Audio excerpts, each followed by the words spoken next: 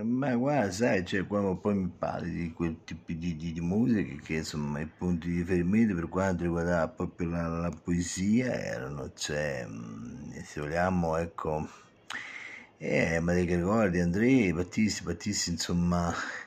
anche allora se lo seguivi dicevano che era un pochettino insomma leggerino, un po' tutto bellino così, però poi non erano tutte cose vere perché poi ripeto hanno dato tanto alla musica.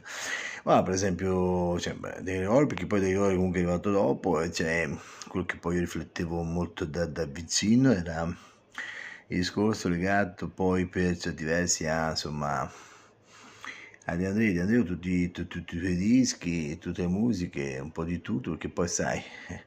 quando vuoi apprezzare la poesia devi comunque andare su Di Andrea, ecco, cioè quello è un elemento cardine della musica, cioè, è importante da questo punto di vista, perché poi sai,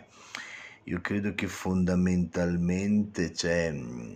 quando tu vuoi arrivare al cuore delle persone, c'è la parola, la sua maggiore estristicazione con la musica, la musica insomma veicola la parola e la porta al cuore della gente, cioè, poi chiaramente, ripeto, sono t- tanti tipi di esperienze che abbiamo fatto ognuno di noi, quindi sai, da questo punto di vista sicuramente è un qualche cosa di molto molto positivo per la crescita personale, cioè aver avuto poi la fortuna insomma da piccolo, che ne so io, fossi i mobili oppure la donzelletta viene dalla campagna, sai, quelle tutte quelle poesie che poi c'è da piccoli eh, abbiamo, abbiamo, un attimino ecco, mh, mm, imparato, osservato, guardato secondo una certa ottica, poi sai, con questi tipi di cantautori che probabilmente, ma addirittura di andare più degli altri, hanno proprio dei veri e propri poeti,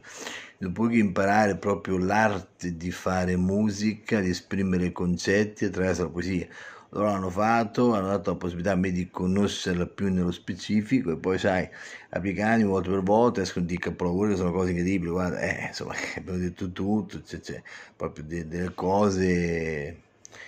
fantasmagoriche, guarda, quindi meno male che ci sono stati loro che poi ci hanno dato questa possibilità, è stata una crescita giorno dopo giorno ed è importante, ripeto, che tramite loro si siano potuti apprezzare